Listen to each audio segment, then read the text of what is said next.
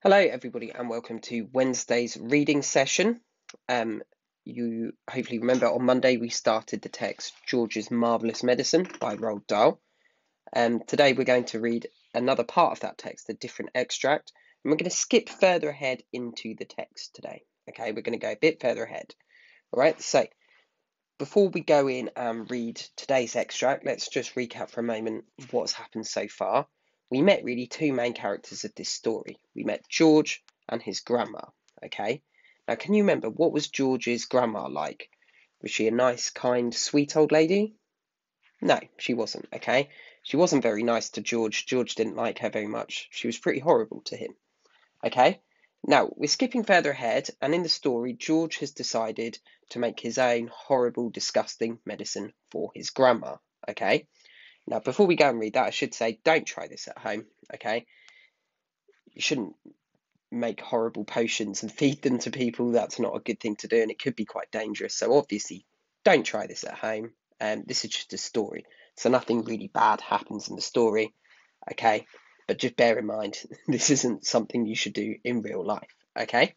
So, where we're up to in the story, then, George is kind of wandering around his house and he's finding all sorts of ingredients to put into his potion, which he's going to give to his grandma. And it's all pretty disgusting. Okay? So, just a couple of little reminders because this is a reading fluency lesson. So, first of all, don't rush. Okay? Try not to read too fast, so fast that it doesn't make any sense. But also try not to sound everything out because then it will take you ages and ages. So, where possible, if you know the word, just say the word on sight. Avoid sounding it out. Okay. So once again, we're going to do Mario and Luigi reading. So when you see the Mario logo, that means it's my turn to read. And when you see the Luigi logo, it's your turn to read. And what we'll do, we'll build it up gradually, sort of one paragraph at a time, like we did before. Okay. So Let's begin then. So, as I said, George is wandering around his house, finding things to put into his potion. He's making this medicine. So, I will begin from, let me get my pen. Let's have blue.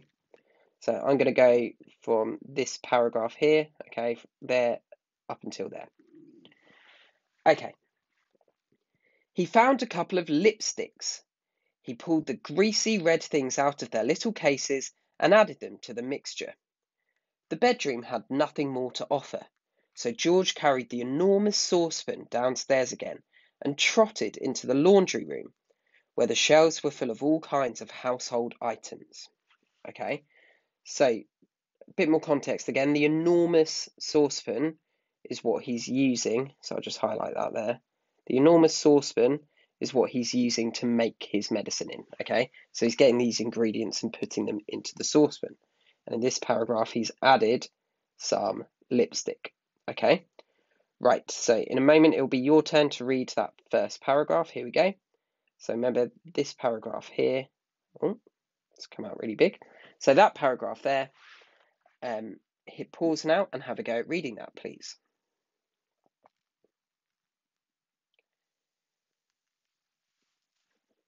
Okay, hopefully you've done that. So I'm now going to add to it. All right. And I'm going to read this paragraph, but I'm also going to do this second paragraph, the second block of text here. Okay. So he found a couple of lipsticks. He pulled the greasy red things out of their little cases and added them to the mixture. The bedroom had nothing more to offer, so George carried the enormous saucepan downstairs again and trotted into the laundry room, where the shelves were full of all kinds of household items. The first one he took down was a large box of super white for automatic washing machines. Dirt, it said, will disappear like magic. George didn't know whether Grandma was autom automatic or not, but she was certainly dirty. So she'd better have it all, he said, tipping in the whole boxful. Okay, so your turn again. You've got section one, paragraph one there, and you're adding paragraph two now as well. Okay, so hit pause now, please, and have a go at reading those first two paragraphs. Okay, hopefully you've done that. So let's add a little bit more. So You guessed it, we've done two. We're now going to go on to the third paragraph as well. Okay? So write down until the word dogs there. He found a couple of lipsticks. He pulled the greasy red things out of their little cases and added them to the mixture. The bedroom had nothing more to offer, so George carried the enormous saucepan downstairs again and trotted into the laundry room, where the shelves were full of all kinds of household items. The first one he took down was a large box of super white for automatic washing machines. Dirt, it said, will disappear like magic. George didn't know whether Grandma was automatic or not, but she was certainly dirty. So she'd better have it all, he said, tipping in the whole boxful. Then there was a big tin of Waxwell floor polish. It removes filth and foul messes from your floor and leaves everything shiny bright, it said. George scooped the orange coloured waxy stuff out of the tin and plonked it into the pan. There was a round cardboard carton labelled flea powder for dogs. I think I know where that's going. Right. So your turn again. This time we're adding the third paragraph, all right? But as ever, keep practicing the other ones as well, so you're building up that fluency. Hit pause now, please, and have a go at reading that. Okay, so hopefully you've done that now. I'm now going to do essentially the entire page, okay? So the whole page. He found a couple of lipsticks. He pulled the greasy red things out of their little cases and added them to the mixture. The bedroom had nothing more to offer, so George carried the enormous saucepan downstairs again and trotted into the laundry room, where the shelves were full of all kinds of household items. The first one he took down was a large box of super white for automatic washing machines. Dirt, it said, will disappear like magic. George didn't know whether Grandma was automatic or not, but she was certainly dirty. So she'd better have it all, he said, tipping in the whole boxful. Then there was a big tin of Waxwell floor polish. It removes filth and foul messes from your floor and leaves everything shiny bright, it said. George scooped the orange coloured waxy stuff out of the tin and plonked it into the pan. There was a round cardboard carton labelled flea powder for dogs. Keep well away from dog's food, it said, because this powder, if eaten, will make your dog explode. Good, said George, pouring it all into the saucepan. Okay, now it's your turn as well. So those four paragraphs, that whole page, have a go at reading that. Now hit pause, please.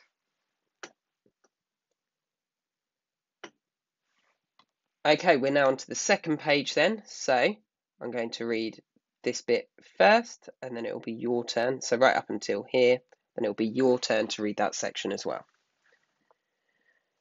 Back in the kitchen, George put the huge saucepan on the table and went over to the cupboard that served as a larder. The shelves were bulging with bottles and jars of every sort. He chose the following and emptied them one by one into the saucepan. Okay, so your turn to read that first paragraph there. Okay. Hit pause now, please, and have a go at reading that.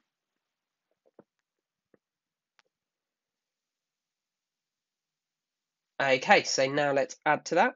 We're going to read this, and then we're going to list. We're going to read the list. Sorry, of jars and bottles that George is having a look at. So we're going to read these two sections here.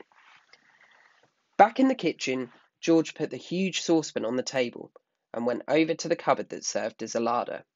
The shelves were bulging with bottles and jars of every sort. He chose the following and emptied them one by one into the saucepan a tin of curry powder, a tin of mustard powder, a bottle of extra hot chili sauce, a tin of black peppercorns, a bottle of horseradish sauce. Okay, that's a kind of spicy sauce. Right, so your turn now to read those two paragraphs, okay? So off you go.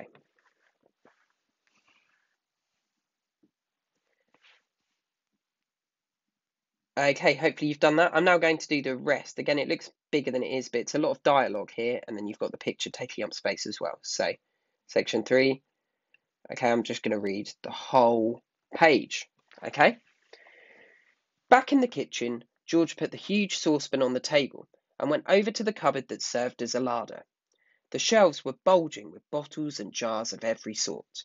He chose the following and emptied them one by one into the saucepan a tin of curry powder, a tin of mustard powder, powder, a bottle of extra hot chili sauce, a tin of pe black peppercorns, a bottle of horseradish sauce. There, he said aloud, that should do it.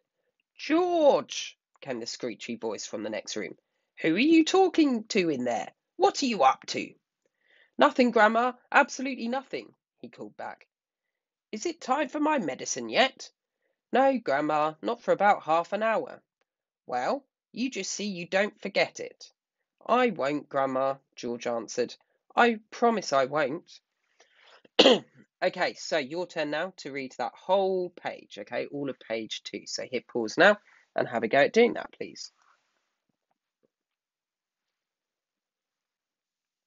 Okay, hopefully you've done that now. So last bit, as ever, I'm going to read through the whole thing, and then it'll be your turn to have a go at reading the whole thing as well. Okay, so here we go. He found a couple of lipsticks. He pulled the greasy red things out of their little cases and added them to the mixture. The bedroom had nothing more to offer, so George carried the enormous saucepan downstairs again and trotted into the laundry room, where the shelves were full of all kinds of household items. The first one he took down was a large box of super white for automatic washing machines. Dirt, it said, will disappear like magic. George didn't know whether Grandma was automatic or not, but she was certainly dirty. So she'd better have it all, he said, tipping in the whole boxful. Then there was a big tin of Waxwell floor polish. It removes filth and foul messes from your floor and leaves everything shiny bright, it said. George scooped the orange coloured waxy stuff out of the tin and plonked it into the pan. There was a round cardboard carton labelled flea powder for dogs. Keep well away from the dog's food, it said, because this powder, if eaten, will make the dog explode. Good, said George, pouring it all into the saucepan. Back in the kitchen, George put the huge saucepan on the table and went over to the cupboard that served as a larder. The shelves were bulging with bottles and jars of every sort.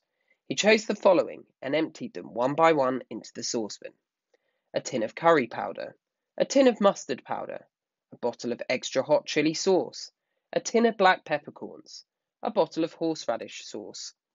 There, he said aloud, that should do it. George, came the screechy voice from the next room. Who are you talking to in there? What are you up to?